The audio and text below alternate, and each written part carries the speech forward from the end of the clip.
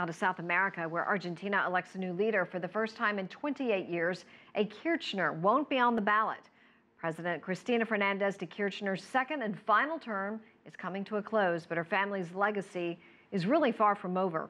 CCTV's Joel Richards is in Buenos Aires. And Joel, there are three leading candidates. Will there be a definitive result, or is a second round expected Sunday?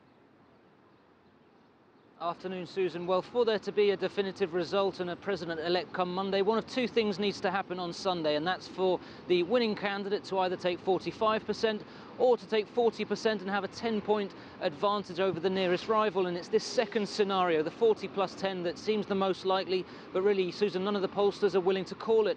Uh, Daniel Scioli is the presidential candidate. He's the governor of the Buenos Aires province. He's promising continuity of, of, government policies with moderate changes to the economy. And he's on the very cusp of this 40% that he needs uh, to take the win. Now, following him, chasing him, is Mauricio Macri, the former Buenos Aires city mayor, who's uh, pro-market. He's looking for a more open economy, and he's hoping to take this to a second rounder head-to-head, -head, which would be uh, within a month's time. Uh, there are six candidates in total. One of the other leading candidates uh, is, is uh, Sergio Massa, the former cabinet chief, who's hoping to spring something of a surprise, but it does seem he's he's lagging somewhat. So uh, it's no one, no, it's still very close to call. No one uh, wanting to call it just yet, Susan.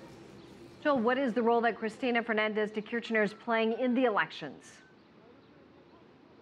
This is very interesting, Susan, because uh, all of these candidates represent change to a varying degree. And yet at the same time, Cristina Fernandez de Kirchner ends her two terms of office with extremely high approval ratings. Most polls put it in the region of uh, 50%, very high after eight years of government. And if we take into account her late husband, Nestor Kirchner's first term of office, these are 12 years that really have transformed Argentina. Uh, the economy performed well in the early governments, but less well in the more recent years. And that's really the key point that is decided deciding these elections. But nonetheless, socially inclusive policies have been the hallmark of the Kirchner government and which have led to Cristina Fernandez de Kirchner, as I said, having a very high uh, popularity rating as she leaves. Uh, she's constitutionally barred from another term of office. So on the one hand, people very happy with, uh, with the outgoing president, but at the same time, the majority of people wanting change here in Argentina. What we'll see on Sunday is that degree of change that they want.